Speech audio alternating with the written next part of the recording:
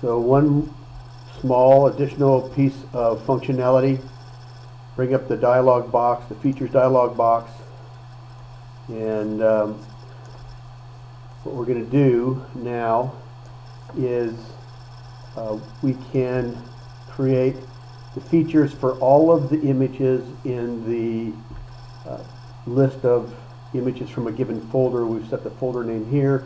All the images are there.